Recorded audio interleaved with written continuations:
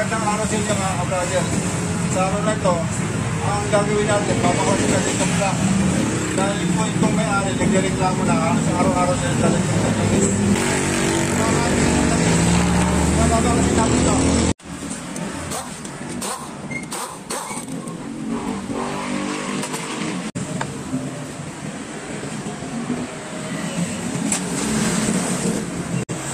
Tanggal, tanggal natin ang dalawang tornil nito. Tatanggal natin ang.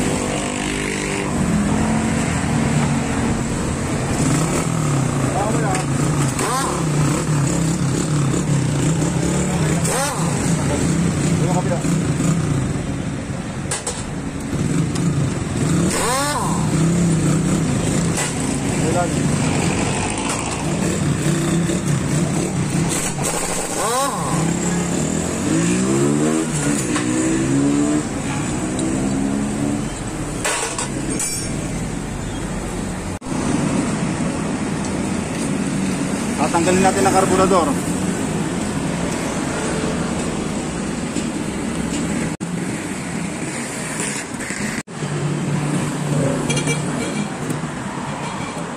Tanggalin na ignition ko eh.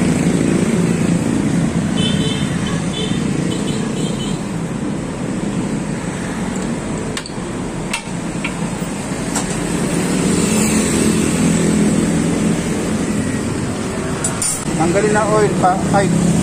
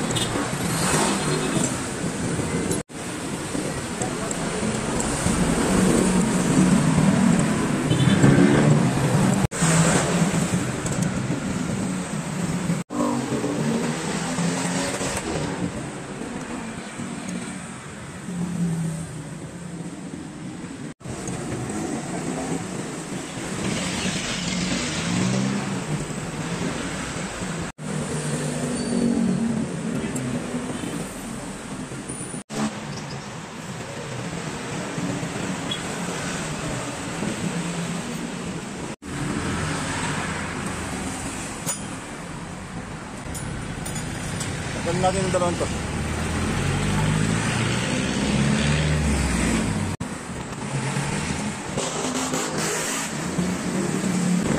Medyo madugo ito kasi madumi masyado at saka maraming takas.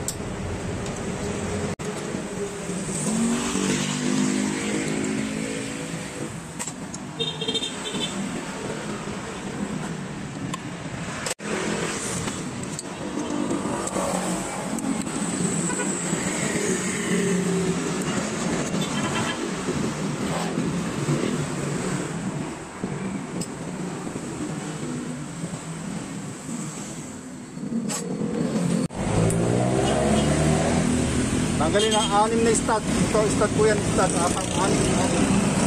Ano ba yan?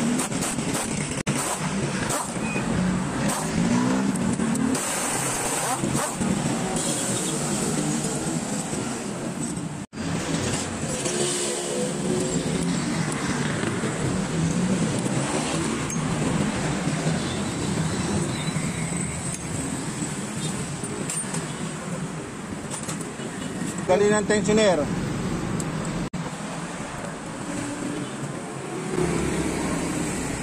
Timing chain, kapalitan. May gitsang libo yan. Ayun. Sobra na yan kasi nag-oversize ka na ng, ano, ng tensioner. Wala kang topic.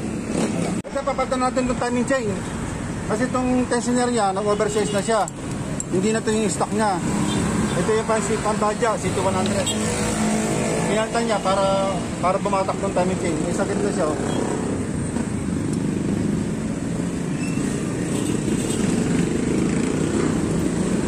Ito, napakahalaga sa para ako nito. Isang pinanggagalingan ng lagitik yan.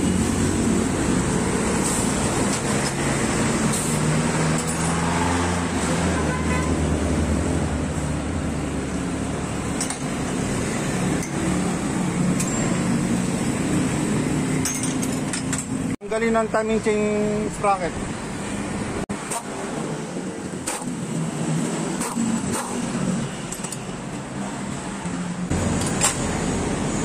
Tanggalin. Butin.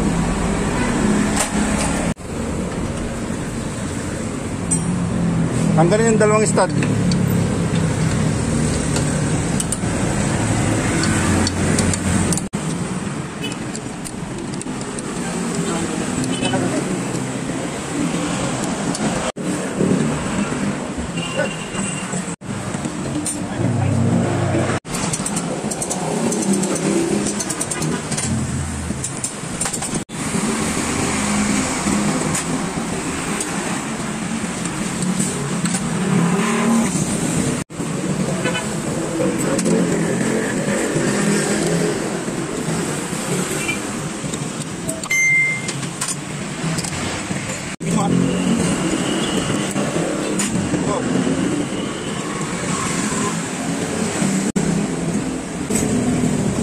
Papalitan ng ano.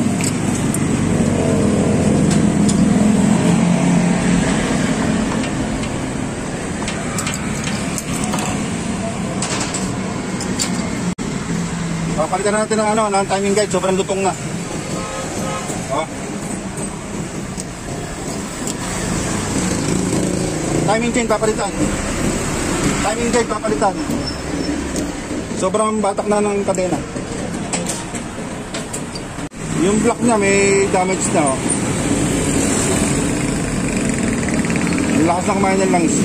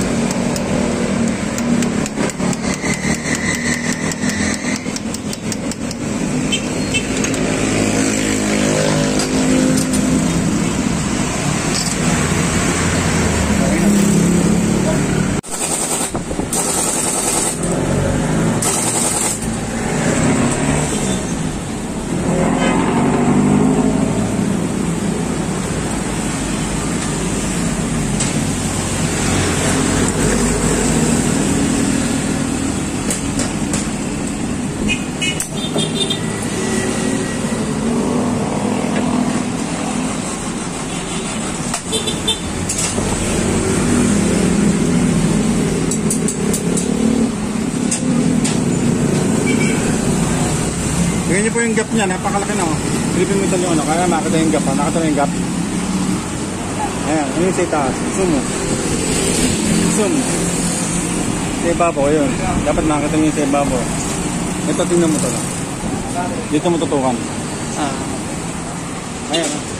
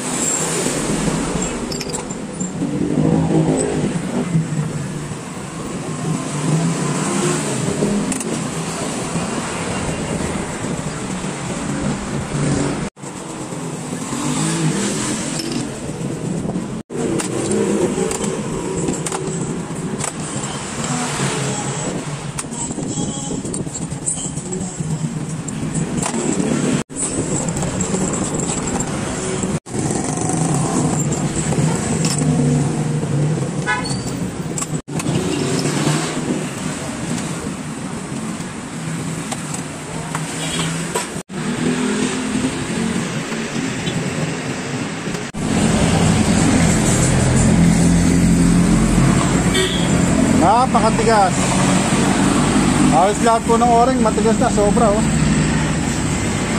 Parang ba ano, no? Pag ang oring tumigas na, yun, pinagagalingan na ano.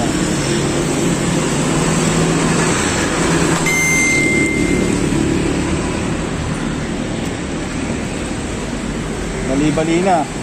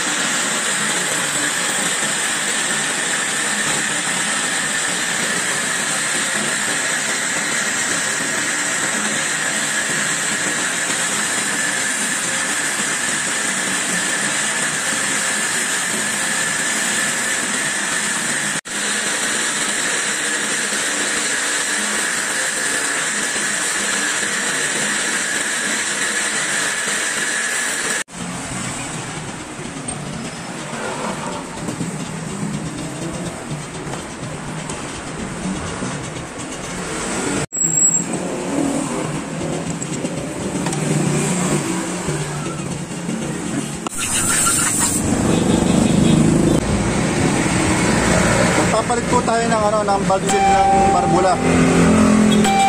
Ito po yung barbula niya. Yung dalawang to. Meron pong valve seal dyan sa loob po nito. Papaklasin po natin yun kasi isang isa sa pinagagalingan yun nung pagka pag-uusok.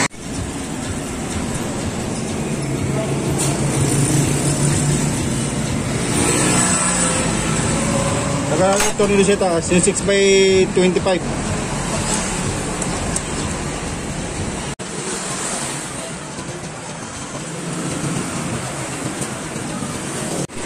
Tapos, Huwag kayo ng 5 by 30.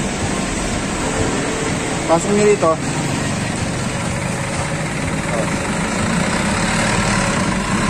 Ang sukat po ito 5 by 30.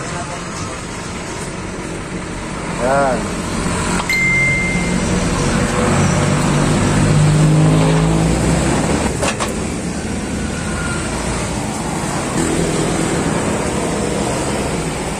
Tapos hugutin nyo.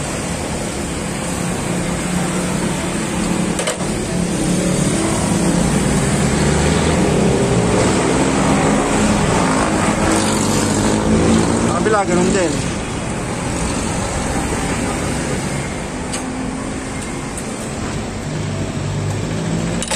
Tapos hugot.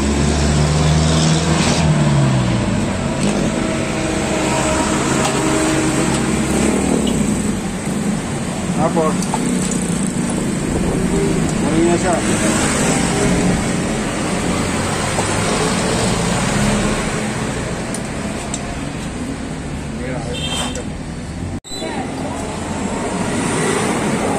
Ngayon, ang pagtatanggal po nito, kakalsuhan nyo ito para huwag siyang lumubog.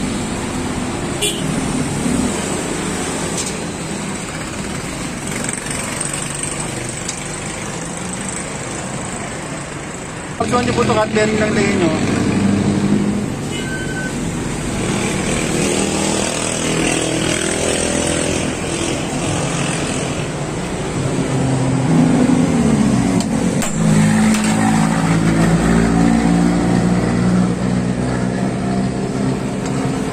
Kabila, ganun din po.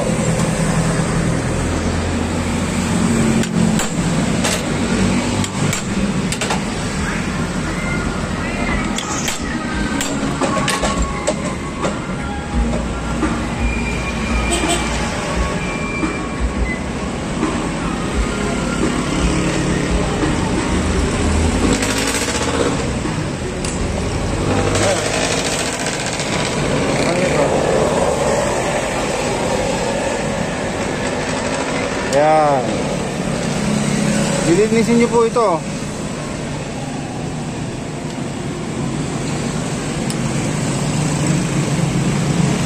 Okay pa naman eh. Okay pa yung barbula niya. Tatanggalin natin yung valve seal. Yan po yung valve seal oh. Tatanggalin natin yan. Kuha kayo ng plies. Ganun nyo lang siya. Hilahin nyo lang oh.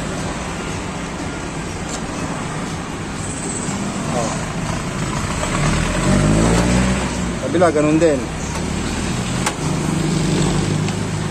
Oh. Linisin nyo na siya.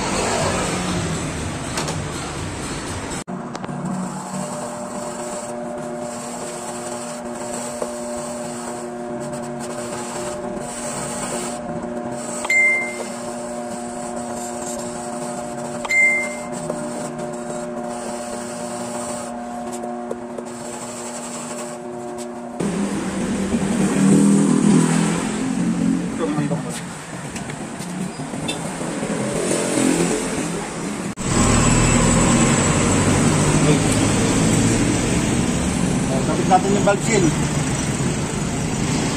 Ganito ang pagkapit ko. Pasok sa loob ito. Pasok niyo yung bago. Tulak nyo lang patiin. O yan. O. Yung kabila, ganun din.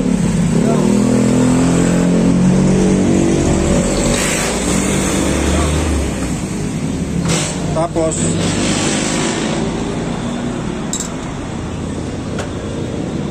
oh, Kaya meron pa daw po bang repair dito? Tapos, bearing.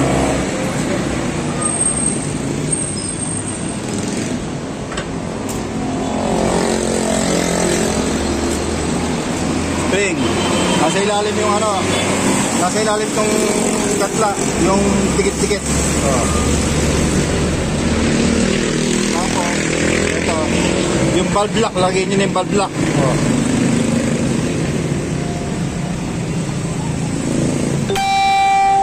Yan ang valve lock. Yan sa ibabaw. Oh. Tapos, tulak nyo po. Oh. Okay ah. Ayan, dapat pantay siya. Alak, oh. Kabila naman. Ganun pa rin. Nasa ilalim yung ano, yung maraming yung dikit-dikit ng ano, string. Tapos ito. Yung valve lock.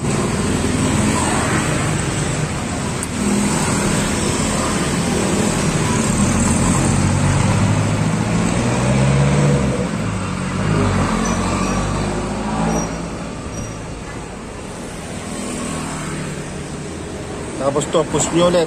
Dinan nyo lang.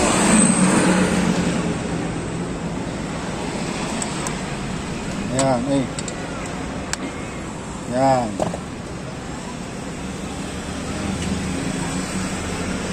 Okay na. Tapos,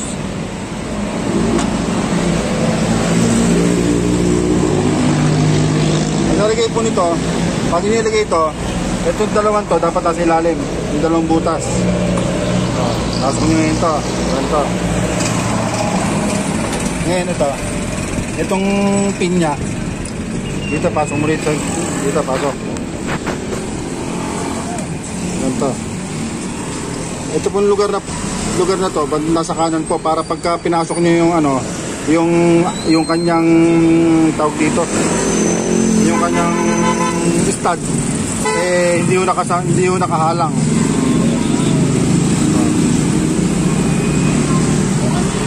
So, sa kabila, ganun din. Oh. Ito po, tatapad nyo sa ano. Ito.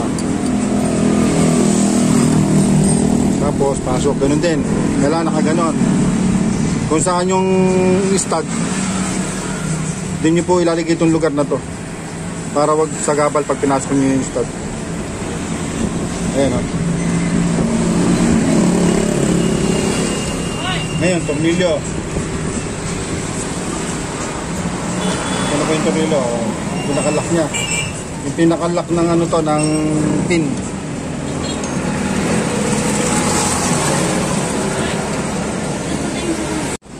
Lag pa. Kuhain ka naman, patalastas na naman. Oh.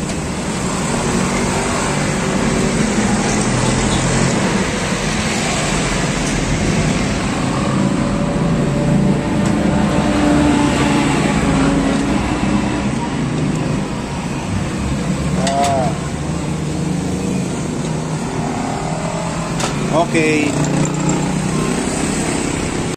Okay, ito.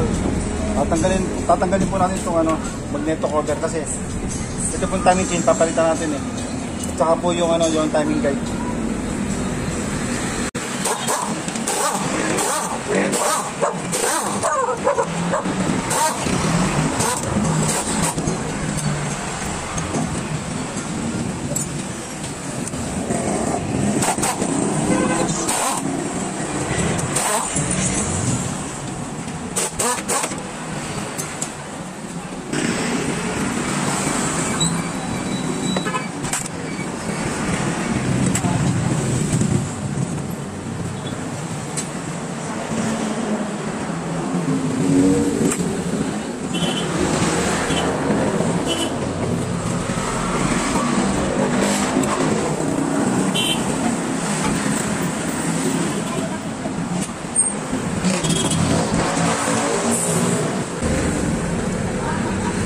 Ito, tatanggalin natin itong tornilyo to.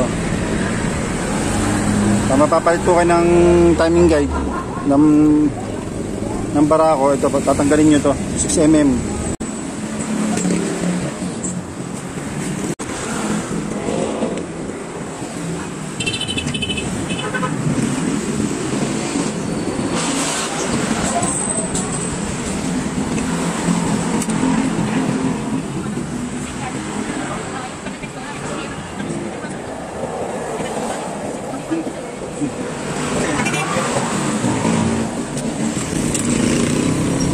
Malaglag tong anong to, ano po, itong bolt guide.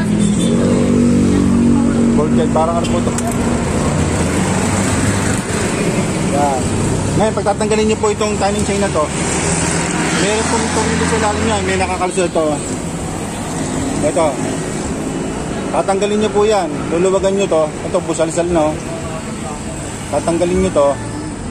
Ibababa niyo, tsaka tatanggalin. Kasi hindi matatanggal, nakahalang.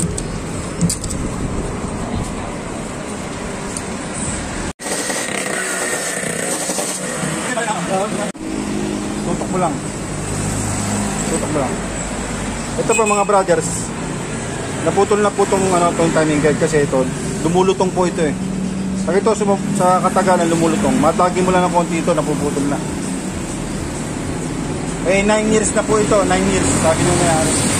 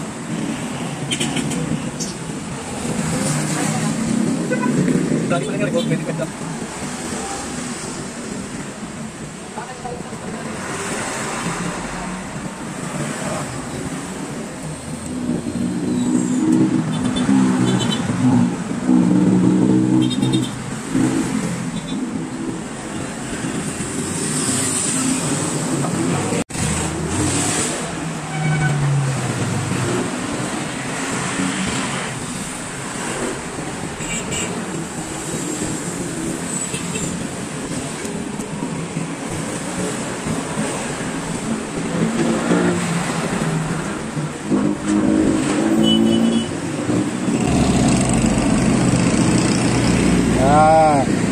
Lagyan na natin ng piston.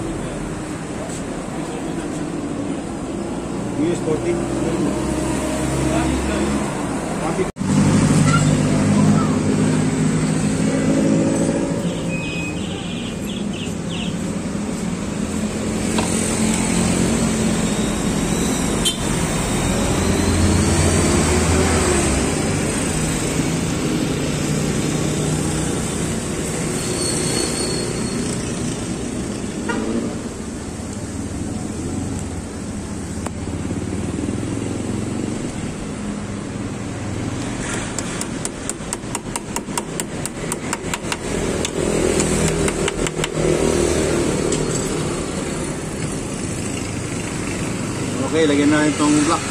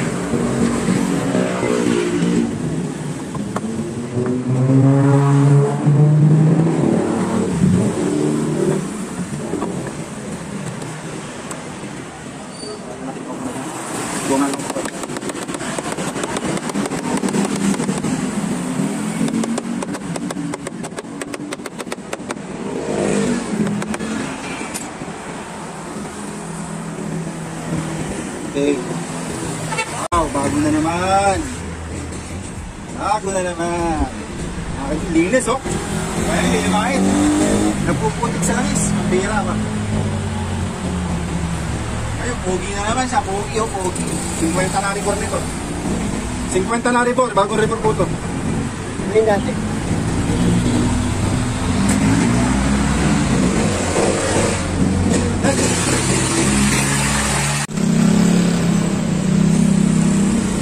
Nalagyan na natin ito.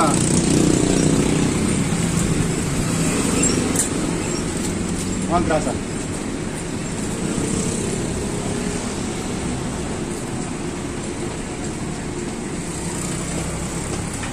Lugyan. Lagyan ng gas. Lagyan na. Ano lagyan? Okay na.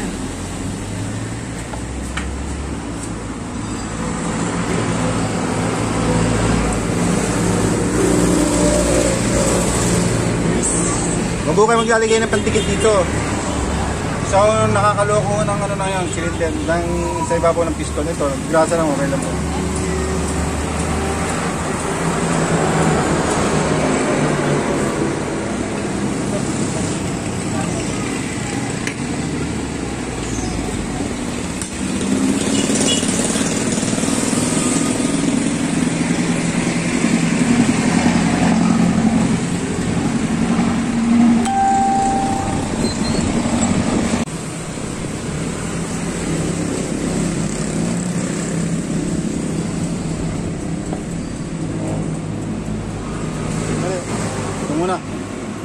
Timing,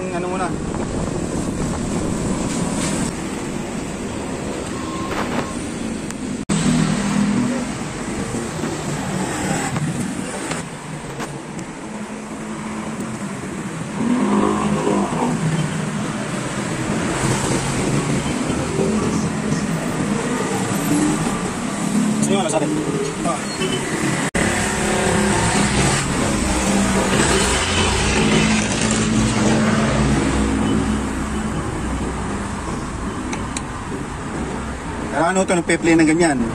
Pe-play ng ganyan. Baka magkamali po kayo, hindi nyo makikabit yung pinaka pinaka busing ng eh, ng bolt dito. Wala nang play, dapat meron. Ayan natin yung block.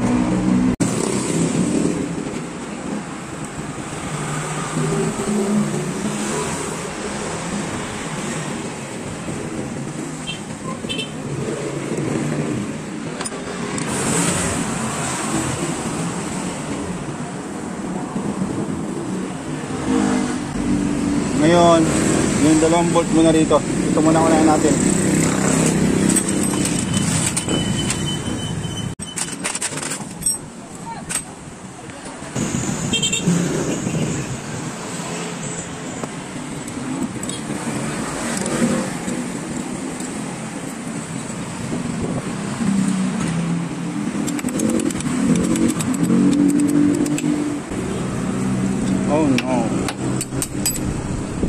Ito po unahin nyo yung dalawang yan.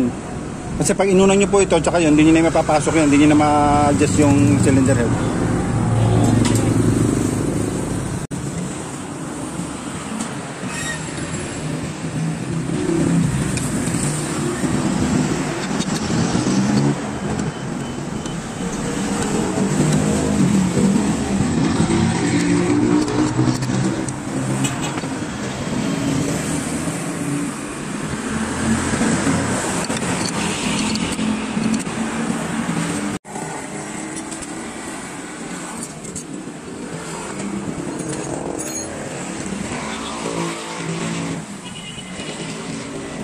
Hindi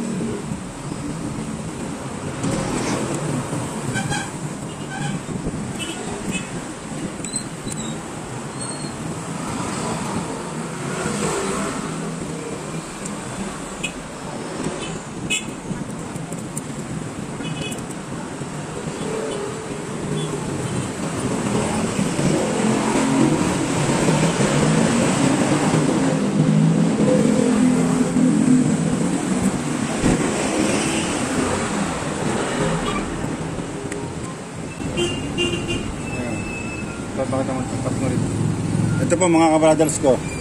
Dapat po pagka maglalagay kayo ng timing chain, ito pong mating na ito na letter T. Itapat nyo rito.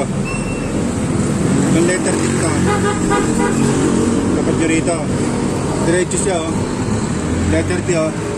Tapat nyo rito sa tuldok. Yan yung top dead center po.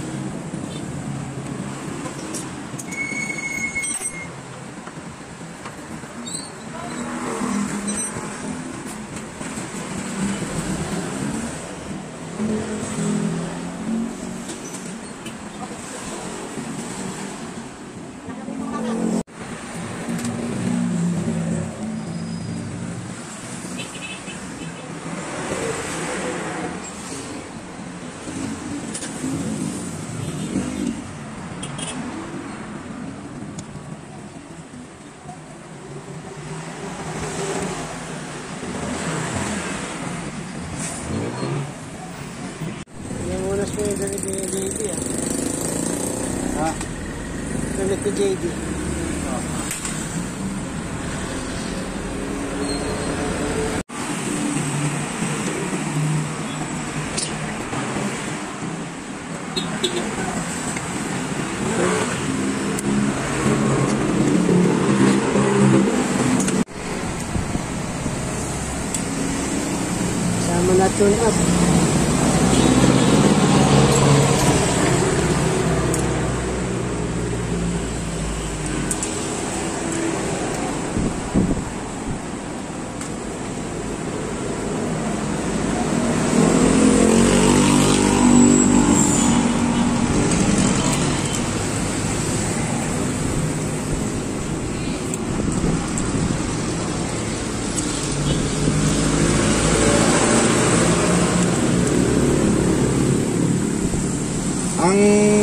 tappet adjustment po nito 0.08 gaya ng sinabi ko nung una. Sa mga una kong video.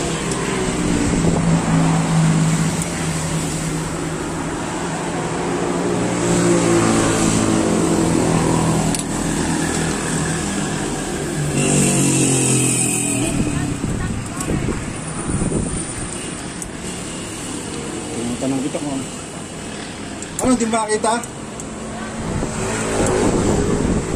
Maliliit lang. Ito ah. Okay gan.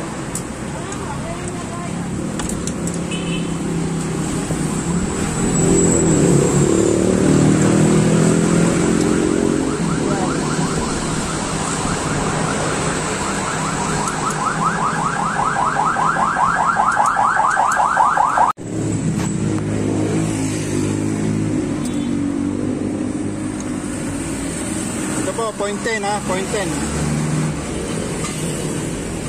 Point 10 to.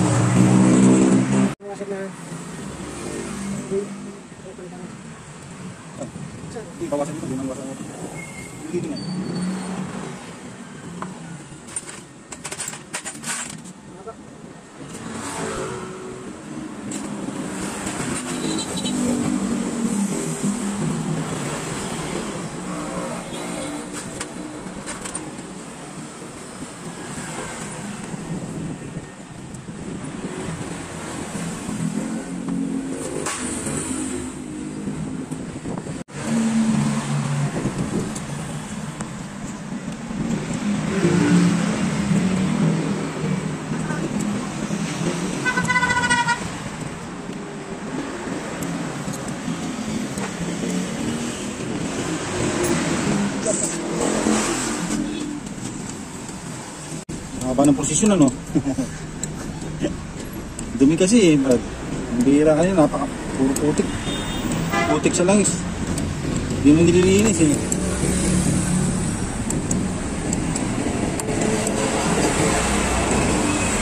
Ano ba?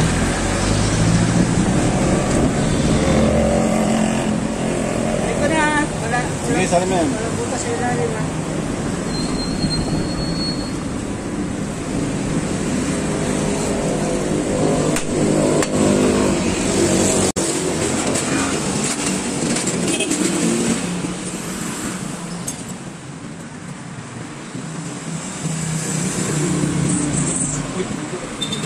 Ay, tama, tama, tama.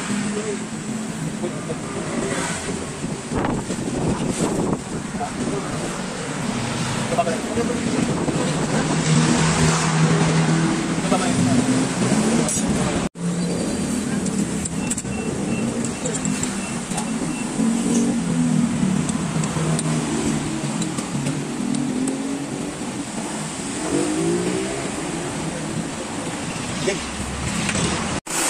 Oh, tama.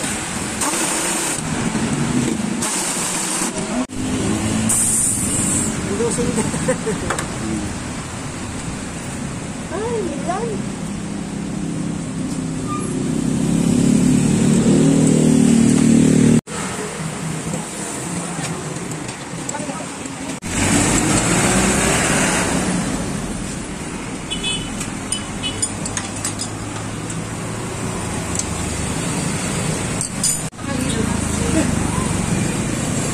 Hindi na kailangan to, no? Okay, tanggal mo na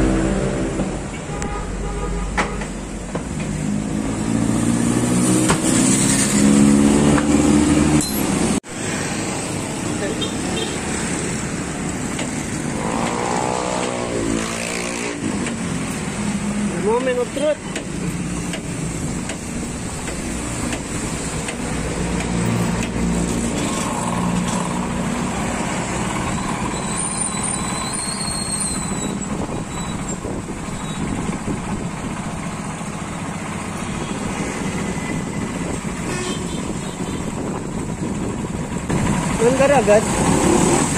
Manggaragat? Yan ang mabilis? Ito mo, lapit. Start agad? Ayan, nagpalit ng timing chain. Yeah. Dati sobrang ingay niyan. Kaya ang timing chain, timing guide, niribor, saka valve seal.